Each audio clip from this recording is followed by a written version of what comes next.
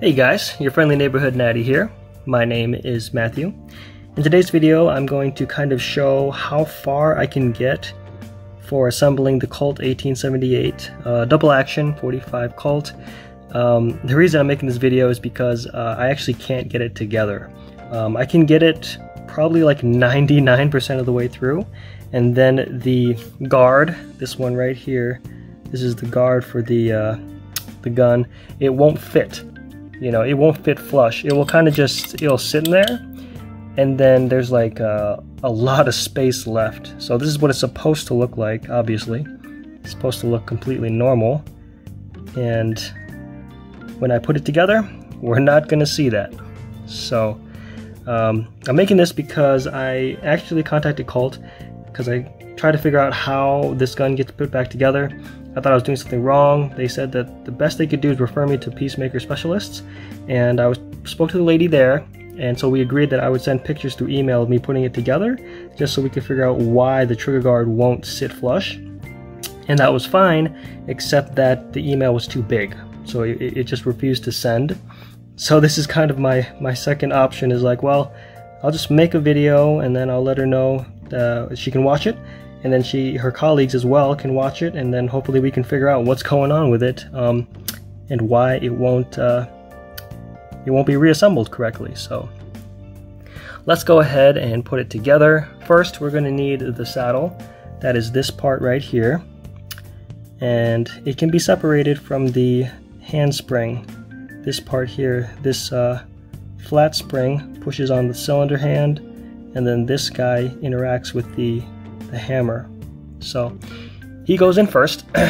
Usually you just kind of have to slip him in there. Just kind of sneaky slip him in there like that. Okay, now what we're going to want to do is get the cylinder hand. This is a little tricky, but this guy, so he's going to want to be in the cylinder window. The best thing I can do is that I typically have him preset in the cylinder window and then somehow slide him into the uh, this hole here is where he goes. So um, I may have to do it flat now so you won't be able to see it because I don't need things to move when I'm trying to put them into place. Okay, so now I just need to put him over the saddle. Come on now. Mm. This is a lot easier to do when you're not trying to make a YouTube video at the same time. Surprisingly. Come on, buddy. Oh, it's so close. oh my gosh. He, he, he just really doesn't want to work. Come on. Uh, Alright, you know what? What I may have to do is, okay, I'm gonna do it off camera. Well, I'm gonna do it like, like, I'm gonna, I'm basically gonna do it and then show you later. That's what I have to do. Okay, here we go. So, you wanna be a problem, huh?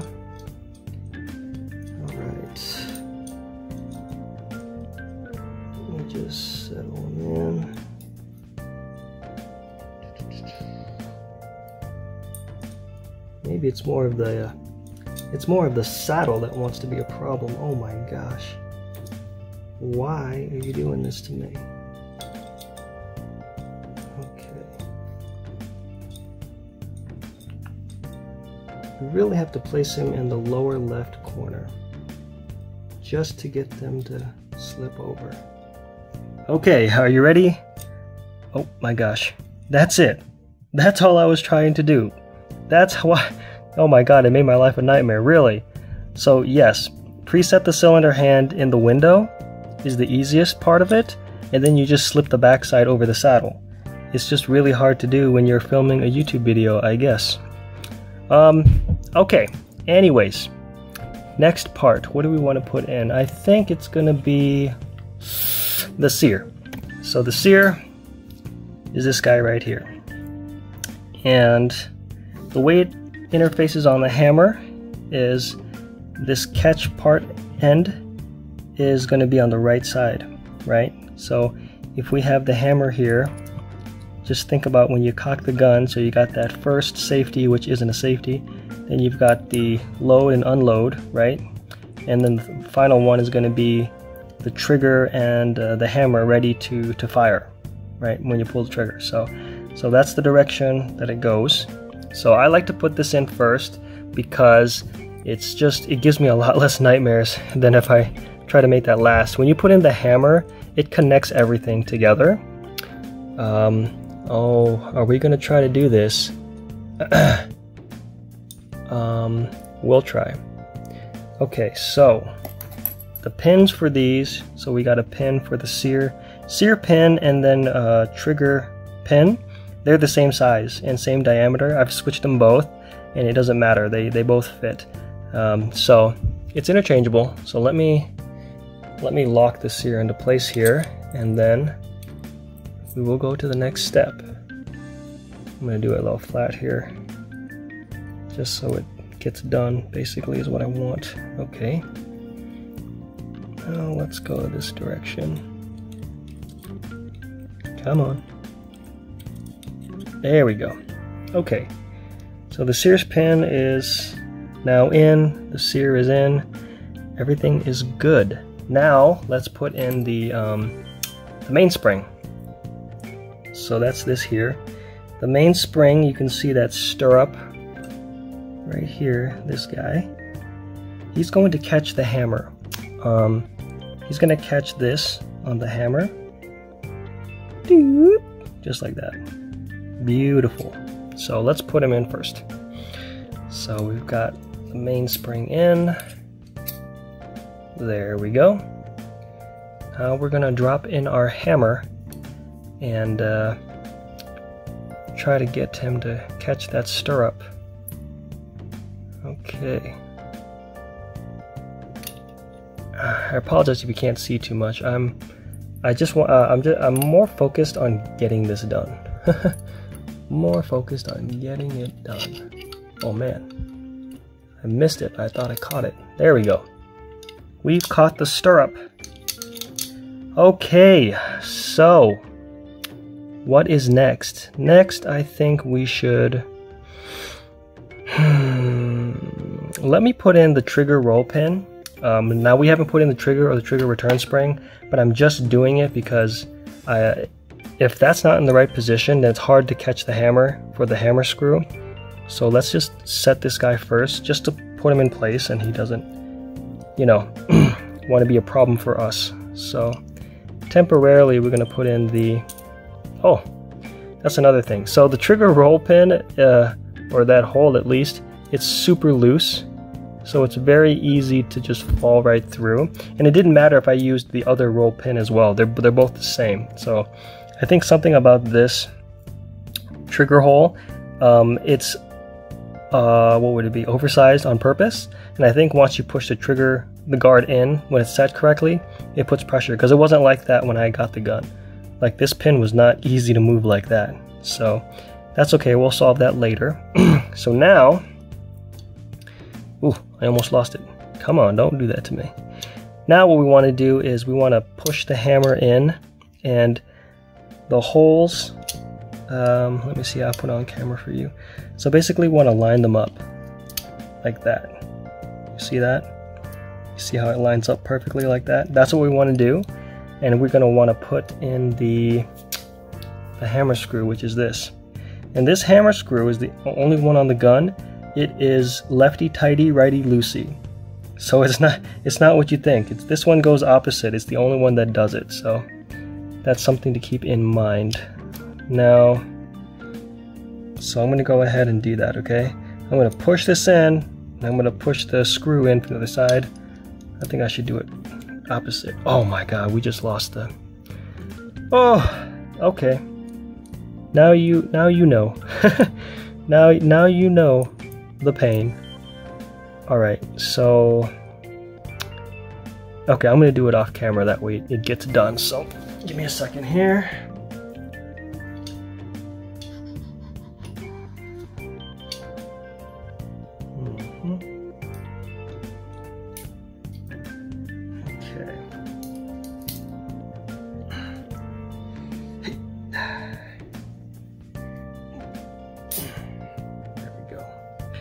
Okay, so I've got the hammer screw in there and you can see that um, the handspring is interfaced there. So the flat spring is pushing on the hand, you know, and then the round part is connected to the hammer. That's its resting position. And yeah, well, not anymore. Who knows what's going on there, but it's okay. So now we're gonna put in the lock plate, which is this here. The thing about this is that um, you have to push the screw out. you have to give it room in order to settle, and then well, let's do it here. So I'm going to push this screw out just to give enough room for the lock plate to fall into place. So it can be incredibly fickle. I do not, do not like it at all. Oof. Sometimes it makes me wonder if I have to go less on the hammer screw. There it goes. Okay, finally. so now what we're gonna do is push on this to make sure it's flush and then we're gonna screw in this one. And remember it is lefty tighty righty loosey. So let us screw this in on the left. Well let me push it in first. Yep. Make sure you get your threads. Now we can screw it in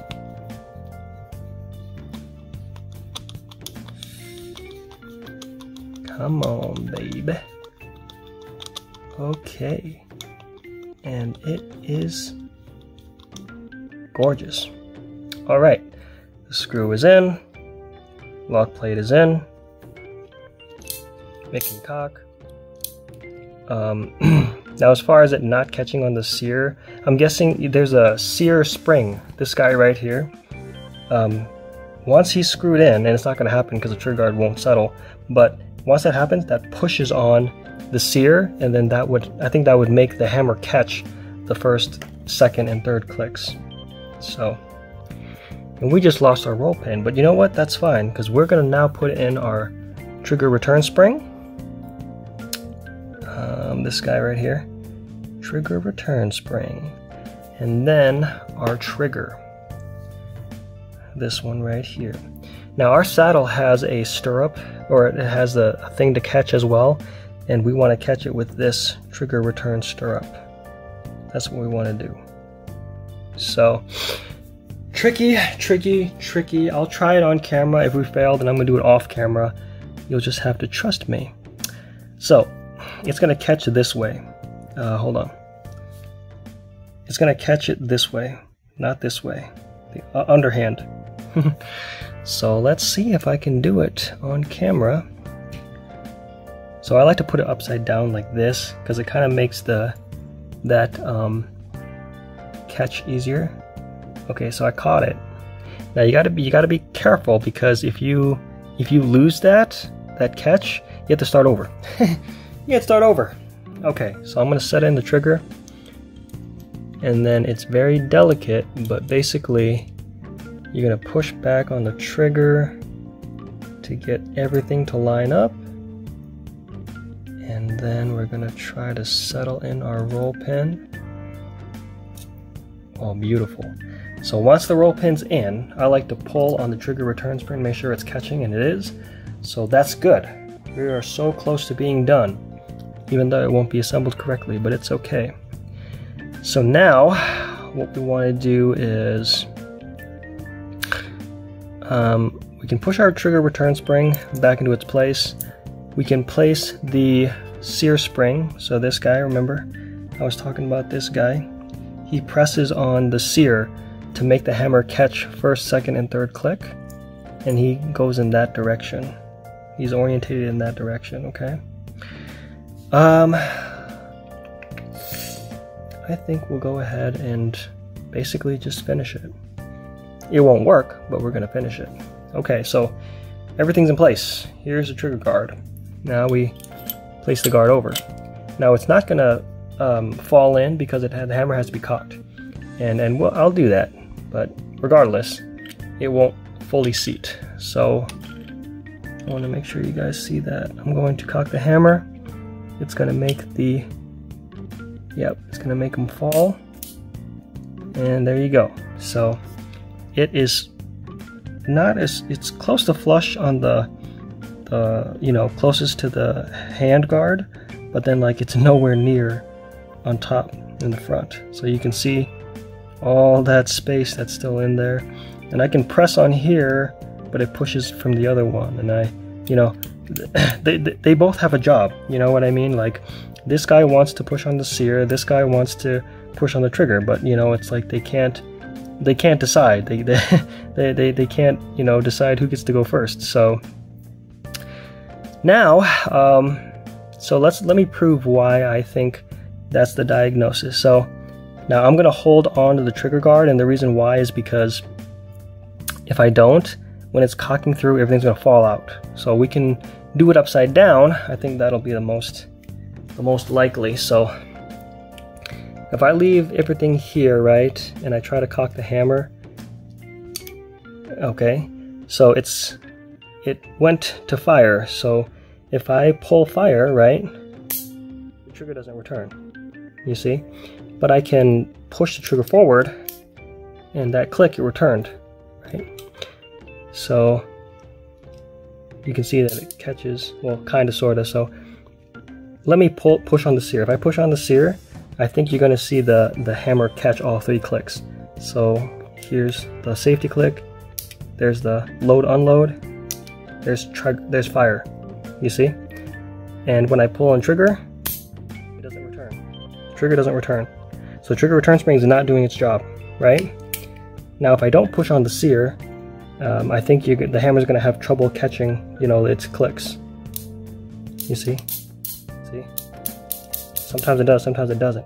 So clearly, the, the trigger guard is not set in. The screw forces the sear spring to push on the sear to catch those clicks, the safety click, not really, um, the load, unload, and then the fire. Now here's another thing. If I push on the trigger return spring, remember this one?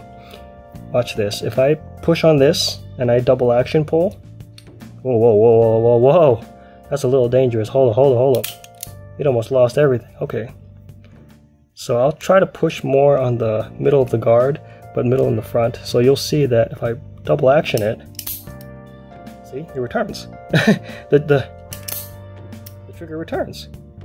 So as long as I push on the trigger return spring, when I double action, it goes back. Right? I can I can make it go back if I just push on the uh, the sear or not sear trigger return. So once again, let me show double action, and then I push on the trigger return, comes back. Double action, push back. So clearly, clearly, the guard is not sitting where it's supposed to sit. Um, so yes. Uh, that's the best that I could do. Um, if you guys know anything about this model, I hope this video will help uh, Peacemaker specialists and her colleagues, maybe. Um, maybe you guys can figure out what's going on, but uh, as far as the schematic, there's only one thing that I may be missing, which is like a latch spring, but I think that has more to do with this gate. You know, the loading gate of the single action, which I never took apart, so I mean, clearly it's fine, but yeah, um, hopefully somebody out there knows anything. If you can, I'd love to hear about it. Other than that, you guys have a good day and you take care now, okay? Bye now.